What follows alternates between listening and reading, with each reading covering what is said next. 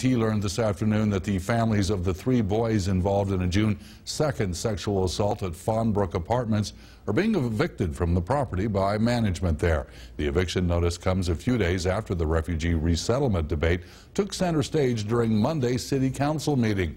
Now, those involved in that June 2nd assault will have to find new places to live, but for hundreds of others resettled in the community, they're staying put right here in Twin Falls, where they first arrived in America and where daily life is lived under a microscope. But that story, here's Zach Rickens. My father was a doctor, and he was the uh, colonel for the Afghan army. The Taliban, they shoot him from the backside first, and then after he fall down, they shoot on his heart. They killed him.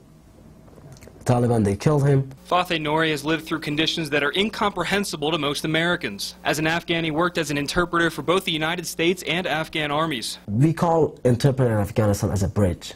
We were a bridge between the Afghan people and the United States Army. Working directly with the United States Army put a big target on Fateh's back. So when the opportunity presented itself, he applied for a special permit visa to relocate to America. It's a different culture and uh, different environments around, so it, it's, it's really difficult.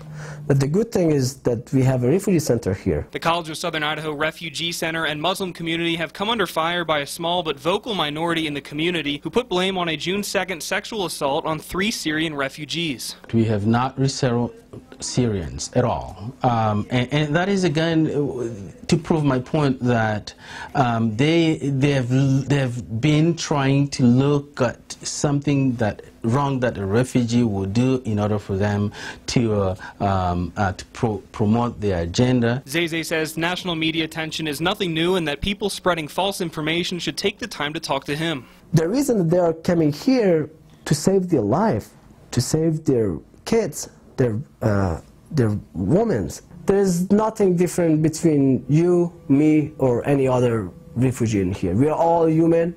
We are living in the same global. In Twin Falls, Zach Rickens, Idaho's First News. Now, Fateh says it was difficult leaving his family and life in Afghanistan, but that the little criticism he and other refugees received from locals is a lot better than being targeted back home.